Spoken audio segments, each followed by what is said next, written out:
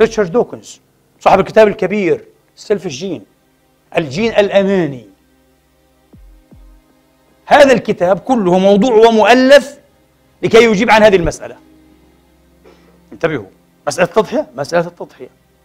يقول دوكنز في الحقيقة الأم أو الأب حين يذهب يضحي بنفسه من أجل صغاره فإنه يكون أنانيا في أعلى درجات الأنانية. عجيب. إيش هالمناقضة هذه؟ كيف؟ تضحية أنانية؟ تضحية ضد الأنانية؟ قال لأن الذي يفعل هذا هو الجين. الجين الأناني الذي يريد أن يعبر. يريد أن يعبر يريد أن يستمر من جيل إلى جيل. فالأم تعلم. ليس الأم الجين. عفوا يا ريت الأم. الأم غريزة. أبوها لا لا لا. قال الجين. الجين يعلم أن الأم إذا لم تضحي هلك إيه؟ الصغار فإذا هلك الصغار هلك الجين يعني الجين يستخدم الأم مطية له الجين يستخدم الأم مطية له لكي يعبر to pass يعني عشان يعبر من الأم إلى جيل أولادها ومن أولادها إلى أولاد أولادها وهكذا يبقى إلى اليوم فهذا اسمه الجين الأناني فهمتوا فكرة الكتاب؟ هذا كل كتاب ريشارد دوكنز عجيب هل هذا تفسير علمي؟ هل هذه لغة علمية؟ هل تشتمون هنا رائحة علم؟ علم قابل للتزييف؟ علم قابل للاختبار؟ أبدا.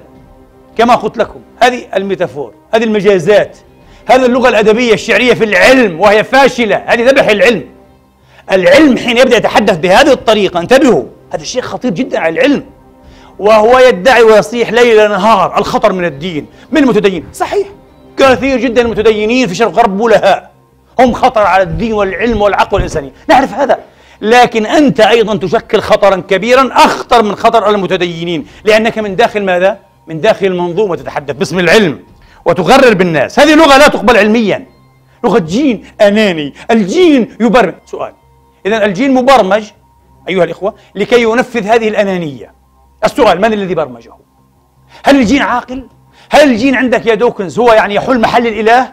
مرة يتحدث داروين عن الانتخاب الطبيعي كأنه هو الإله في أصل الأنواع تماما كأن الانتخاب هذا عاقل بعدين يقول لك لا لا هو ليس عاقلا وليس شخصا لكن تتحدث عنه على أنه كيان حقيقي وليس كيان أصلا هو ليس كيانا. وهذا يتحدث عن الجين الجين له كيانية معروف تركيبه ها؟ لكن كأنه إيه؟ كأنه إله عاقل مصمم مبرمج يخطط ثم يقود الخطة إلى غايتها النهائية. وأنا من جهتي سأسدد ضربة قاضية أيضا لدوكنز الآن. وبمثال بسيط جدا ما رأيكم؟ جدا. وأنا أتحدى. من كان يقتنع بهذا الرجل ليراسله وليقل له أجبني عن هذا المثال. هذا أورده رجل مسلم عالم دين مسلم. أحد هؤلاء الماديين الملاحدة قال أنا مستعد التضحية بنفسي من أجل اثنين من إخواني. وإذا تعلق الأمر بأبناء عمومتي فمن أجل سبعة أو ثمانية. ثمانية. مش أقل. تعرفون لماذا؟ الذي درس علم الوراثة يعرف لماذا. لكي تمر الجينات وتعبر كاملة أه؟ لابد من هذا العدد يعني الأب الآن مثلا الذي يورث جيناته إلى ابن ذكر فقط لا تعبر كل الجينات لابد على الأقل في الحد الأدنى إلى ولد ذكر وبنت إيه؟ أنثى على الأقل عشان X و Y يعني ها يصبح الجينوم إيه؟ متكاملا واضح؟ من نصف هنا من نصف هنا فنفس القضية غير أن نعود إيه الحسابات من أجل اثنين من إخواني. لماذا؟ الجينات ستبقى محفوظة. لكن أبناء العم فروع الأب فروع الجد عفوا الأب الأعلى ثمانية نحتاج إلى ثمانية. فأهلك أنا ويظل ثمانية تبقى الجينات. هذا منطق الجين الأنانية منطق فارغ. طبعا معروف في العالم الإنساني منطق فارغ لأن هناك الكثيرين من البشر من يضحون أنفسهم وهذه أفصح من يضحون بأنفسهم.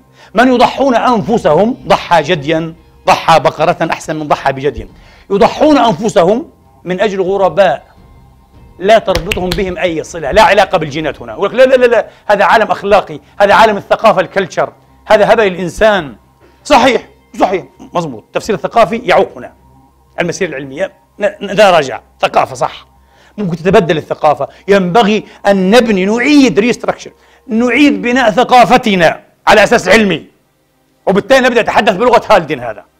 من أجل اثنين من إخواني ينفع وثمانية من أولاد عمي من أجل الغرب ما في تضحية بالمرة بالمرة لا علاقة لهم بجيناتي إلا أن يكون الغريب أيها الإخوة هو آخر إنسان على وجه الأرض وأنا أيضا معه أشارك هذه الآخرية وهو أحسن مني حالا وقواما ها؟ لا يعاني من أمراض وراثية ممكن أن أضحي نفسي من أجله هذا منطق هؤلاء الماديين انتبهوا لكن هذا المنطق يفشل تماما في قصة الدبة المشهورة وسفينة كراكس ها؟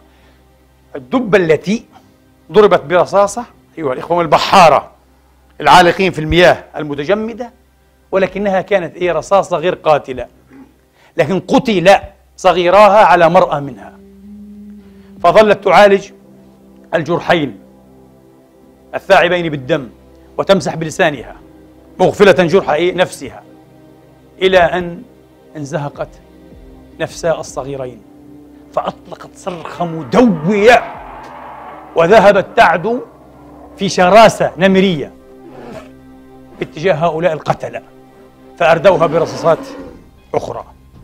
دوكنز هنا كتابه يسقط مباشرة وتسقط الجهة الأنانية. تعرفون لماذا؟ لأنه بالتفكير هنا لا ثقافة ما في ثقافة دببية لا نتحدث عن ثقافة الآن. عالم من الغرائز عالم الحيوان البريء من الثقافة الإنسانية. والسؤال الآن. كان ينبغي على منطق الجين الأناني أو الجين الأنانية إيه؟ لريتشارد دوكنز أن تهرب أن تلوذ هذه الدبة الأم إيه؟ بالفرار طالبة للنجاة.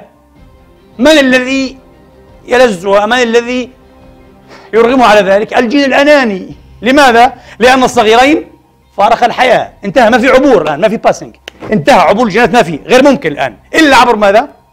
عبر حياة جديدة لهذه الأم وهي ممكنة. لأن جرحها غير قاتل. ثم تتكاثر بعد ذلك وتعبر الجينات. هي لم تختر هذا. اختارت ماذا؟ أن تنتقم لأولادها ولو بحياتها. وانتقمت وسقطت إيه؟ وهذا يفعله الإنسان أيضا. هنا يفشل دوكنز. هذا ما أسدده أنا لريتشارد دوكنز بهذا المثال. لم يسدده أحد من قبلي. لكن هذا بالدراسة بالمقارنة. هكذا. لا تستطيع. الجين الأنانية تفشل مرة أخرى.